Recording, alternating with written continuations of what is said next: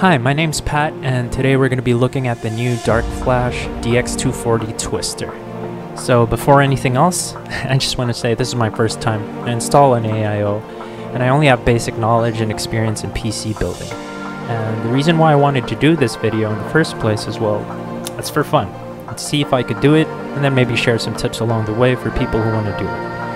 And I bought this from the store we all know and love, PC Hub. And if you don't know PC Hub, then I guess you're kind of new to the gaming community here in the Philippines.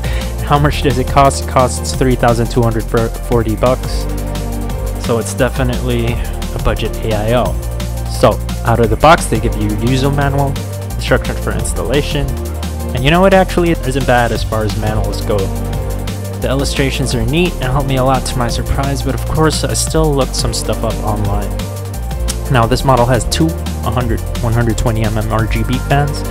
You also have here the couplings you need, a set for Intel and another for AMD.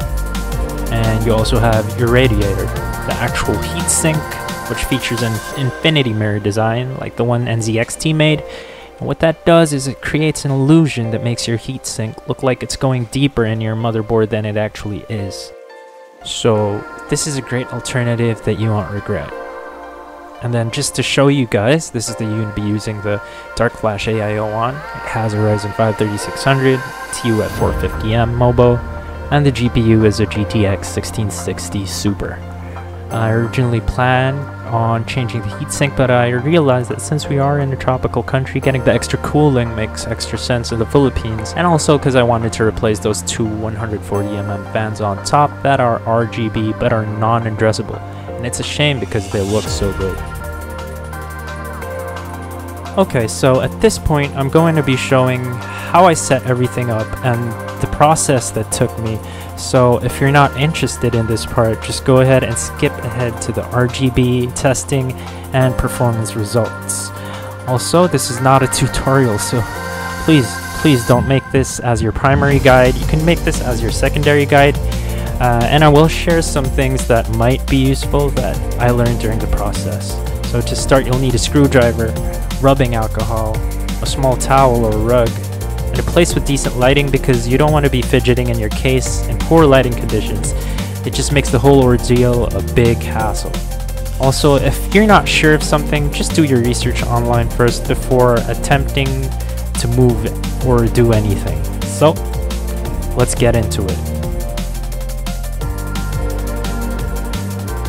The first thing to do here is to attach the fans. And one thing to note is to just make sure that the wires coming out of the fan are going to be facing the back side of the case, where you'll be routing. And another thing is placement, because you can either have the loop going right to left or left to right, and it's mainly preference, but if you're like me, it's something I really consider because I care what it'll look like, and it's part of why I bought it. If you feel a little overwhelmed, just make sure that everything is organized. Keep all your screws in one place, all your tools in another, and what you need immediately for the next thing right in front of you.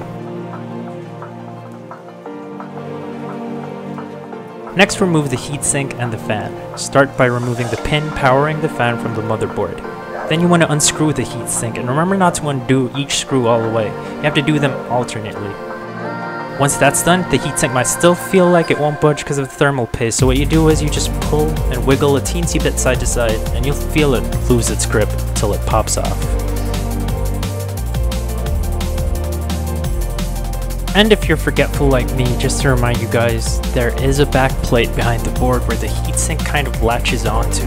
That's what secures the whole thing on the board. So when removing the heatsink, just keep this in mind. Maybe put a hand at the back to support it so it doesn't just fall off while you're unscrewing. What we're doing here is just putting back the brackets that were on this board because for this particular AIO, it needs it to latch onto. So this is what you screw into the back plate I was showing you. And don't forget to clean the thermal paste off of the CPU. I use rubbing alcohol and a small towel. Don't use a tissue because it can get messy with the small tissue fragments going everywhere.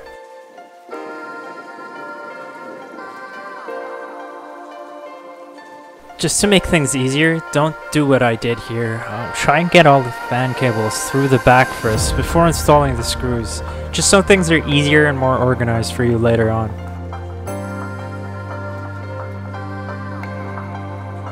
By far the most daunting part about the whole procedure is the wiring. So the easiest way to do this is to just follow the connections shown on the manual to connect the fan's RGB to the heatsink. And what I did since I already have a Dark Flash controller from when I bought the DR12 Pro fan set is to just plug that and uh, the AIO into that for RGB syncing. And also because my board does not support 5 volts 3 pins, which is what all their products are. The fans on the radiator, however, are powered with a 4 pin, not like the 6 pins on my DR12 Pro fans. And so I just plug those into the motherboard. And also, if you didn't know, there are labels on the motherboards to guide you. Now use and apply the thermal paste that comes with the AIO. And it should look something like this.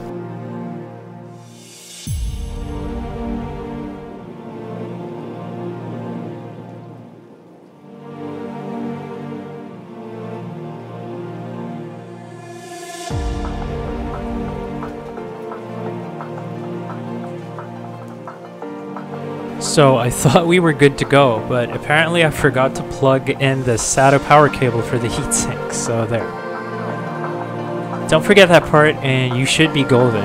And hopefully when you power up your PC, it'll look something like this.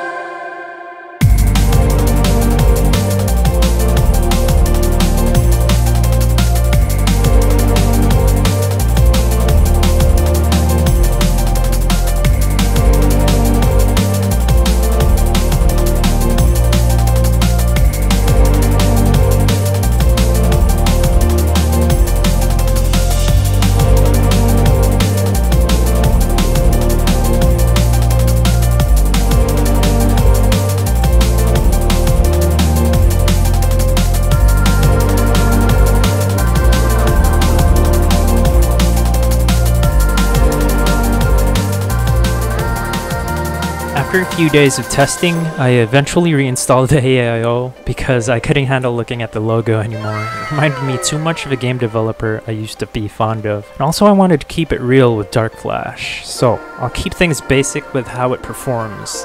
Ambient temperature in the room is around 29 to 30 on normal days, and when I was using the stock Wraith, temps while idle was usually around 50, and maxing out at 75, at most 79 or 80 when playing games and recording. When I started using the AIO, my idle temp went down to 42 to 45, and while playing Doom 2016 maxed out, while using Streamlabs OBS to game capture, I was only maxing out at 70C. Um, so that's, I don't know, an average improvement of about 5 to 8 degrees lower. Why should you get an AIO for your CPU? Firstly, if you stream and you use 264 instead of NVENC or use any programs and you're nearly at 90C, you might want to consider getting a better cooling, especially here where it is very hot. And secondly, if you want to add a little bit more swag to your build and, you know, a little more personalization and colors go a long way because when you get bored of how it looks, you just change the color and your PC gets a fresh new look just like that. So that's it. If you liked the video, please like, subscribe, and hit the notification bell if you want to see more videos like this. And yeah, I promise it'll just get more interesting.